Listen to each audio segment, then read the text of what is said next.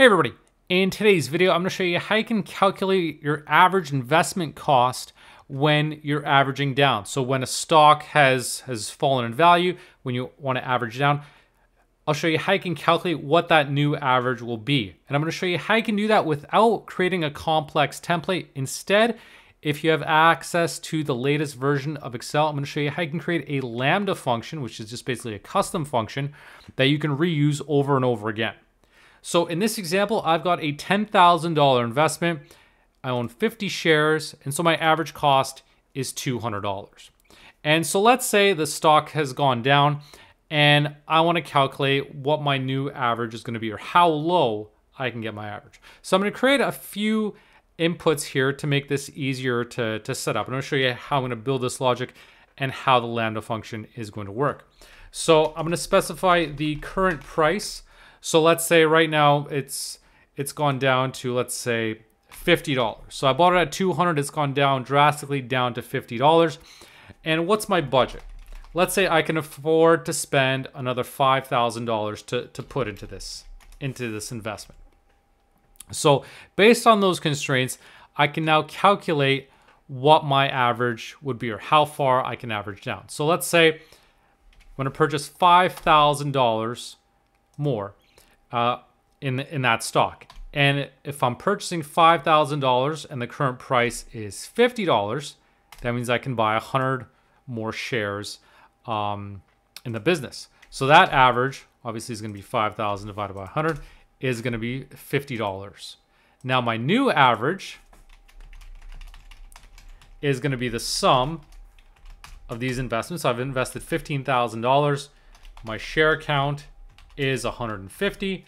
And so my new average is $100. So I went from $200, my original investment, bought $5,000 more shares at $50, and that brought my average down to 100.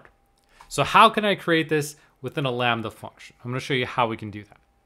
So to create a Lambda function, what we're gonna do is go to the Formula tab, click on Name Manager. So we're creating a named range essentially is what this is. And I'm gonna click on new, and I'm gonna call this average down. That's the name of the function that I'm gonna use. I'm gonna use lambda to tell Excel that this is a custom function that I'm specifying. And so what I need to specify are my arguments. So I'm gonna type in INV for my initial investment and then comma shares for the number of shares that I own right now then my budget, because obviously I need to know how much I can afford, afford to invest, and then the stock price right now. So those are my inputs. And now the last argument in a Lambda function is how all those different variables are going to work together. So in parentheses, I'm going to take the, the total investment and add the budget to it because that's going to be my total investment. And I'm going to divide that by the number of shares I have plus the number of shares I can buy at the current price. And in that case, I'm going to take the budget divided by the price. So that tells me how many additional shares I can buy. And then it's just a matter of closing this out.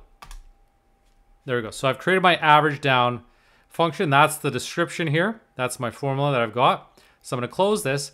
And now let's test this out. So I'm to type in equals average down. So now you can see I've got my different inputs. So I, have got my initial investment, so I've got that 10,000. I've got the number of shares, which, which is 50. My budget, which is 5,000. And then the current price, which is $50. So now I close this out and I get $100. So the same thing that I, that I worked through to create this, you know, I've been able to adjust or to calculate just by using this average down function, this lambda function that I created right within Excel. So it's a lot easier. And this way you can modify your inputs quickly without necessarily having to create a complex uh, a complex template. And you can use this all over your, your worksheet wherever you want. So you know, anytime you want to do these calculations, you can just change the inputs. You don't have to reference um, these values um, as well. I mean, whether I type in 50 or I reference that value, it doesn't matter. But it makes it dynamic enough and in case these values change. So let's say the, the stock price is really $75. So then it tells me I can average down to a new average of 128.57. So let's test it out. Let's change this value to 75. And that tells me again, that's going to be 128.57. So I can either create a template to do this, uh, do this calculation, or I can create that custom Lambda function, which I can reuse in my spreadsheet. So by doing it that way, it's a lot more versatile, easy to reuse over and over again.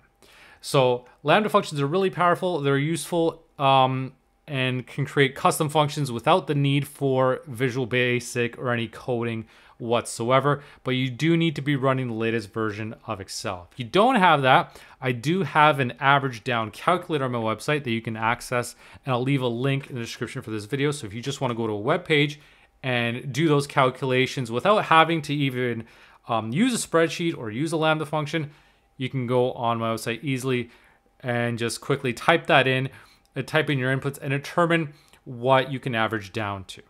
So, hope you found this video useful. Thanks so much for watching.